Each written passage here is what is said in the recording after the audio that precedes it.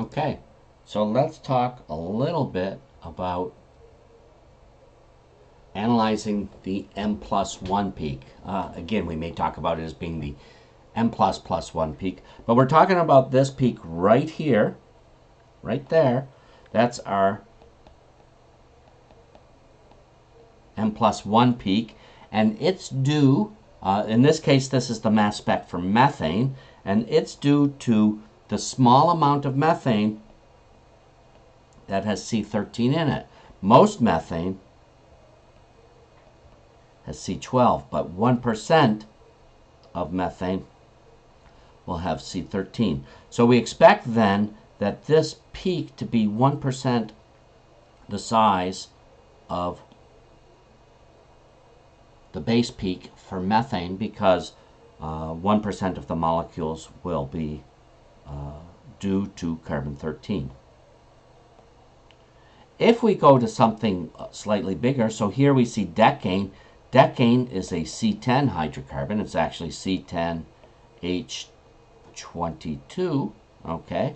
And it has a mass of 142. Look how much bigger our M plus 1 peak is.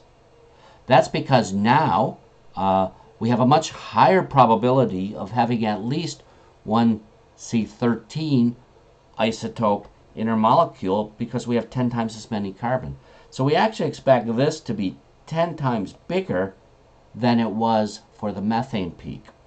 So the M plus 1 peak will become more abundant as the number of carbon atoms increases.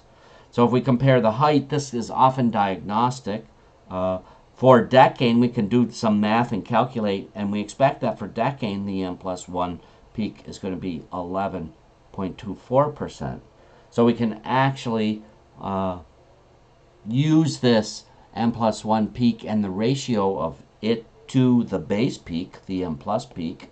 Uh, so the M plus peak divided by the m plus 1 peak, uh, in this case, equals 11.24%. And that's what we expect. So it's very diagnostic. Why would we get an M plus 2 peak? So sometimes we can look at things, and for this particular compound, we're looking at chlorobenzene, and what we see is, uh, here's our M plus peak. Uh, we see an M plus 1 peak, well, which we expect. It's very small. But look at this. This is our M plus 2 peak. And it's significantly bigger. Uh, if we did the calculation, we would actually find out that the ratio of these two peaks is 76 to 24 uh, so it's uh, due to the fact that the abundance of chlorine 37 is 24% and the abundance of chlorine 35 is 76%.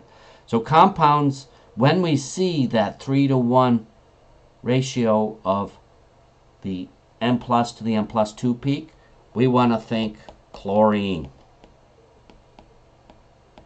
As soon as we see that, we probably have chlorine in our molecule. Very diagnostic. So as soon as you see that pattern uh, way out here, now notice we don't have that same pattern here. That's because the chlorine is no longer in these fragments. So what you will see, uh, and we'll have problems with it this year, is sometimes you'll see compounds where that M, that ratio of 3 to 1 of two peaks that are separated by uh, two mass units may go down. And when they we stop seeing that, that means that the fragments no longer have the chlorine involved. Sometimes the molecule will fragment such that there is still chlorine there, and we should still see that pattern of peaks in a 3 to 1 ratio. There's another very important uh, M plus 2 peak, and that happens to be for compounds that have bromine in them. Bromine has 51% of bromine has an isotope with a mass number of 79.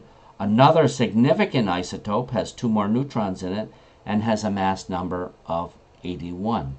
So we see a significant number of M and M plus 2 peaks at pretty close to a 1 to 1 ratio because that means that bromine is present, present in it. So when we see this particular pattern, the M and the M plus 2 peak are almost the same size. We want to be thinking bromine.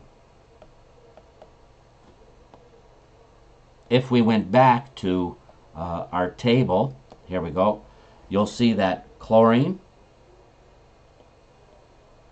and bromine have significant uh, isotopes other than the most abundant one. Bromine is very close. The most abundant one is 50.69%. The next one, which is 81, so 79 and 81 is 49.3. Now, a question I might ask, uh, you'll see, and we're just starting, but I might ask you to compare and contrast the mass spectra for two compounds, chlorobenzene and bromobenzene. So here we have chlorobenzene. Compare and contrast. What does that mean? Well, when we compare them, we see that we have a molecular ion peak, and both, I'm sorry, uh, yes, a molecular ion peak with significant M plus 2 patterns. This is chlorine, we expect to see that 3 to 1 ratio. This is due to bromine, we expect to see that 1 to 1 ratio. But what's different about them? Well, for chlorobenzene, the base peak has chlorine in it. For bromobenzene, the base peak does not have bromine in it. We then see these significant fragmentation patterns. We see three little blips, and here we see three little blips as well at, uh, you know, 70, 77, right around 50, slightly less than 50. We see the same thing here. Uh, we see the same patterns. That's because the fragmentation when we break off the chlorine, we're left with this phenylcation. We have a phenylcation remaining here, and it's also, uh, that's the phenylcation there at uh, 77. And then uh, it breaks up into these other fragments that should be somewhat the same. But notice in the, the bromobenzene, it's that phenylcation is the base peak. That's because the carbon-bromine bond is much weaker than the carbon-chlorine bond. So the carbon-chlorine bond is harder to break. And we see less of the phenylcation. Whereas in the bromobenzene, the carbon-bromine bond is easier to break, so we see a lot more of the phenylcation relative to the base peak.